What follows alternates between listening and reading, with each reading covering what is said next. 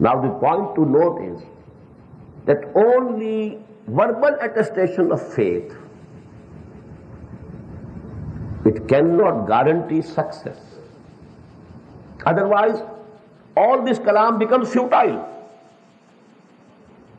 When you say, do this, do this, do this, do this, so that you attain to success, what does it mean? There can be no success without fulfilling these conditions. If you are hoping success without fulfilling these conditions,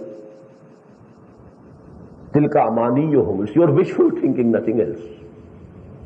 No guarantee from Allah. Just remember and recall, I quoted Imam Razi when we were discussing Surah Al-Asr.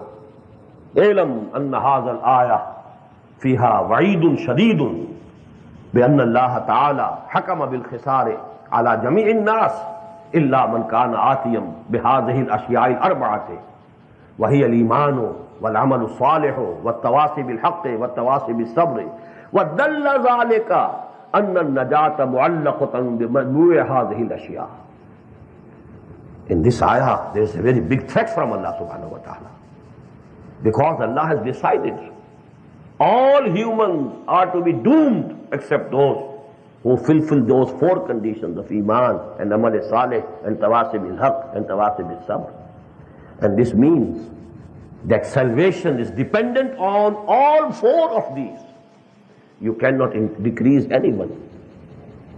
The same case here we must note, if there can be salvation, if there can be success, without irka'u wasjudu wa'budu rabbakum waf'alul khair, then either you think that it is poetry, simple poetry, exaggeration, nothing else. But mind you, this is the kalam of Allah. There's no exaggeration, no poetry. Every word is meaningful. If you really want success, you have professed to believe, okay. Now confirm your belief and faith. Give the practical proof of your belief and faith by irka'u wasjudu wa'budu rabbakum waf'alul khair.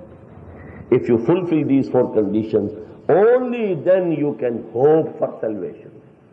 لَعَلَّكُمْ تُفْلِحُونَ